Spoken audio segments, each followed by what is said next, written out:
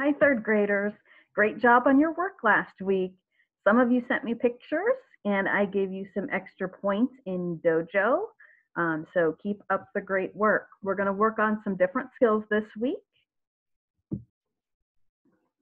Look at these two words. What do you notice about them? Right, they're homophones.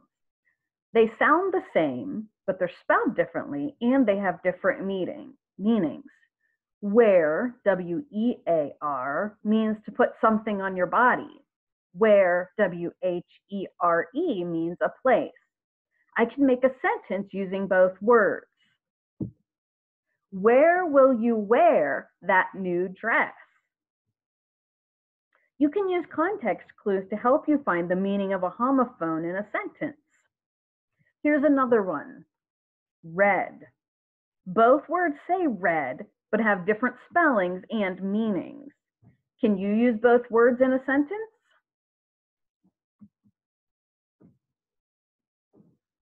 Here's my sentence. Have you read that book with the red cover? Did you use both reds correctly in your sentence? I want you to practice homophones this week. Here are some pairs of words. Each day, I want you to take a pair and use both words in a sentence, just like we did today. The words you're going to use are for, our, there, and eight. Think about the meanings of the words before you start your sentence to make sure you use them correctly. Snap a picture or type them into Dojo and send them for some extra Dojo points.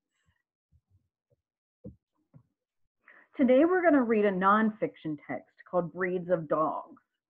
Since it is nonfiction, we know it is going to give us facts.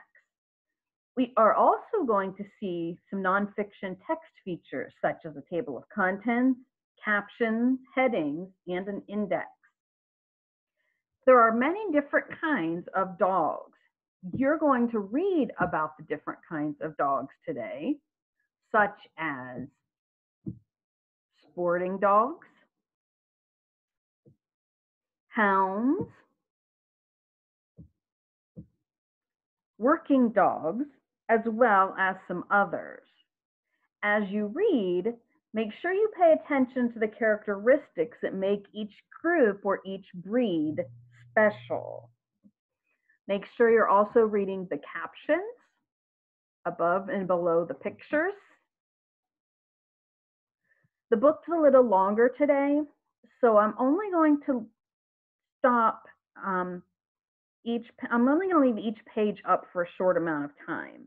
You're going to need to pause the video for each new page and then resume it when you're ready to go on.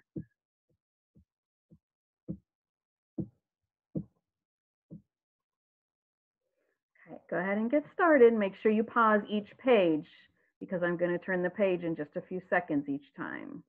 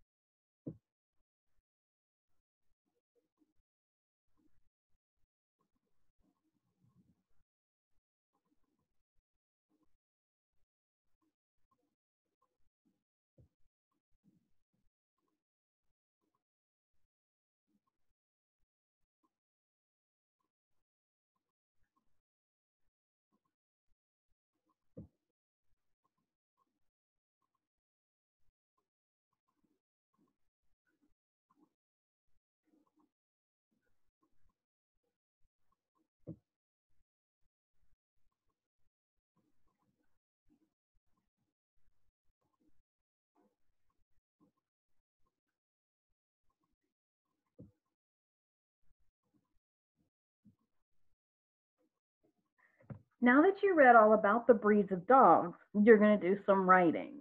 Each day this week, I want you to choose one of the groups of dogs that are discussed in the story and write a summary of it. Remember, a summary is only a few sentences and it gives only the most important information from that section. A good guideline is one sentence for each paragraph in the text. So, for instance, in the sporting dog section, there are three paragraphs. So, you are going to put into your own words the most important information from each of those three paragraphs for a total of three sentences.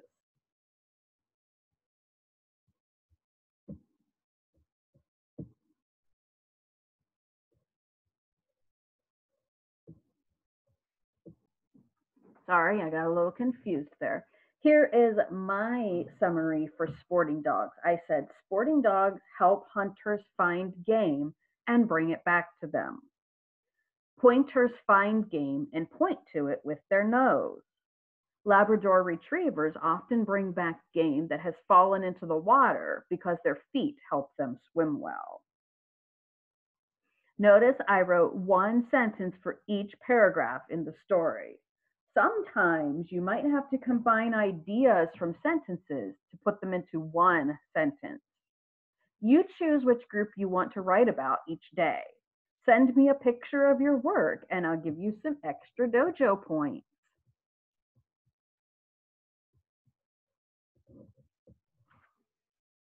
These are my two dogs.